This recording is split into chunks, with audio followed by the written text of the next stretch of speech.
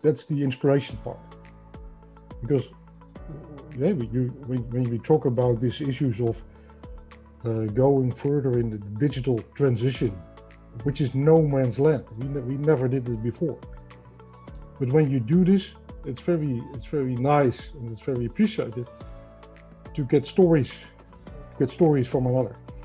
Yeah, stories, your stories inspire us, and I think that's also one of the uh, let's say the the, the strong uh, uh, parts of what we what we call the European Commission, eh, the European community, that we learn from each other, and that we that we inspire uh, each other. I think it's it's important to mention that uh, ELISE helped us to uh, how to say it's uh, we used to say to keep fingers on the pulse of the of the time like uh, to know what's happening around Mhm.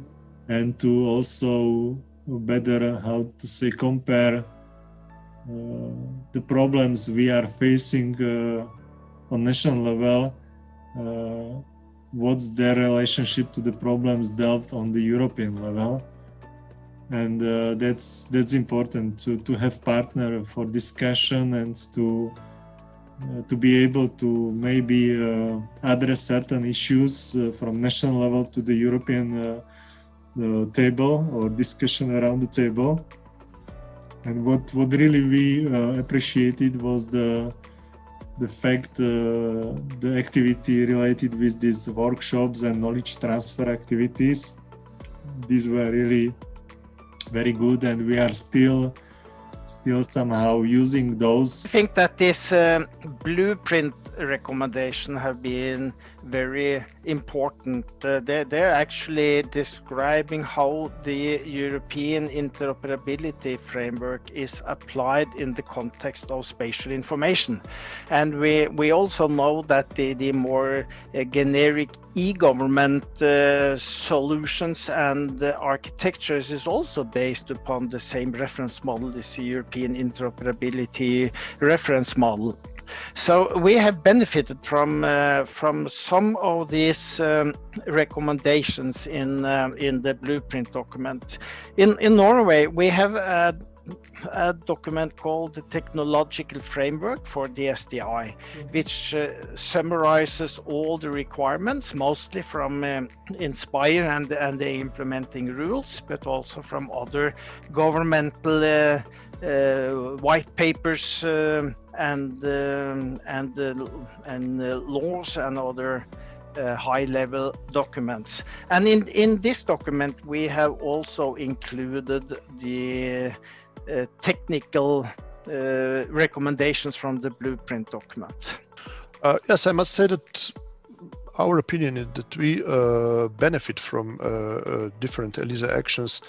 Even in the beginning, maybe we have a little bit reservation that this is uh, too much so-called theoretical uh, approach. But later on, we realize we realized that uh, these uh, activities within the ELISE improved for us uh, spatial awareness and analytical skills uh, in the practical everyday's uh, life. So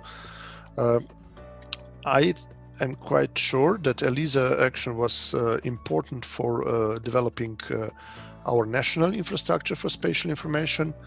Uh, because they uh, we have offer we have opportunity to compare the content of uh, let's say ELISE blueprint uh, where we uh, um, be able to uh, saw the position of practical implementation in the national level within the let's say recommended approach in blueprint and we, and that way we check the ad- adequacy of our solutions and activities but we also use um, some training materials from uh, im- for improving capacity and awareness uh, about uh, location data and of course, I must mention also the imp- practical implementation of the registry into our national Slovenian uh, geoportal. What we really appreciated was the um, how to uh, say the tour de table, so that knowing what was happening at the European level, who was doing what,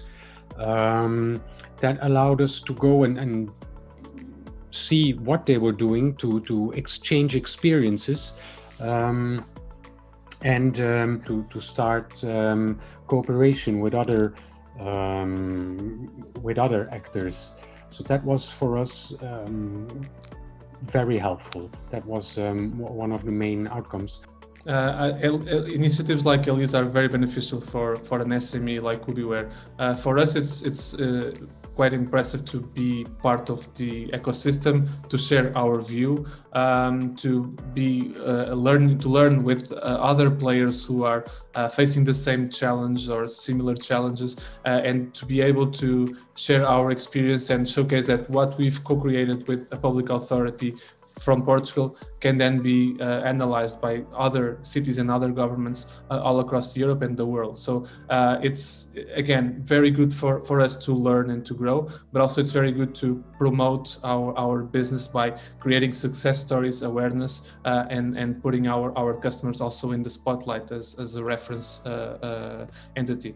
So it's very good for us.